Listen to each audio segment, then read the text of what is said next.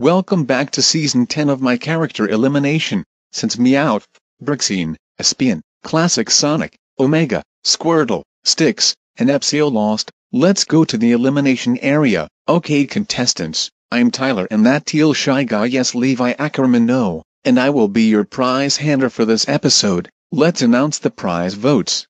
Sticks did not get any prize votes, Braixen and Espeon got one vote, Omega got two votes, Squirtle got 3 votes, Meowth got 6 vote, Espio got 8 votes and Classic Sonic wins the prize at 12 votes. He gets a half advantage the next time he is facing elimination. Now for the elimination votes.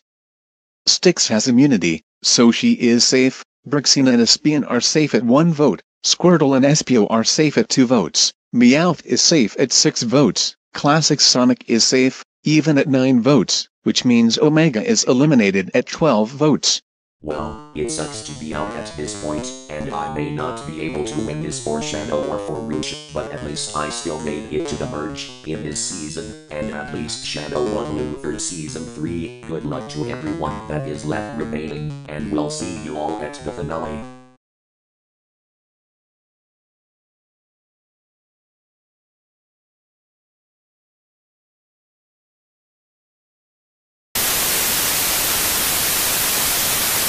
Well, I came into here just to say, congratulations Glaceon on winning Vaughan's Discord CE Season 1.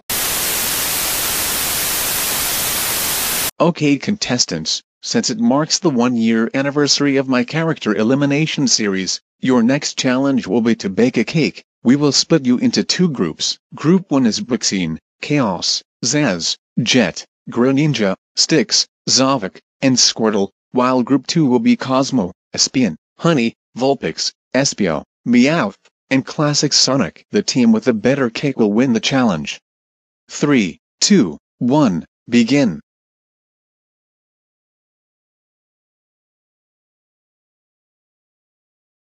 The time is up. Group 1, let's see your cake.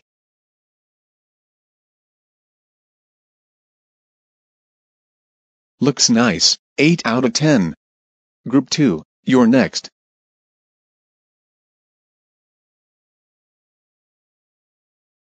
Well, despite the fact that it says happy birthday for some odd reasoning, I still like the cake, 10 out of 10.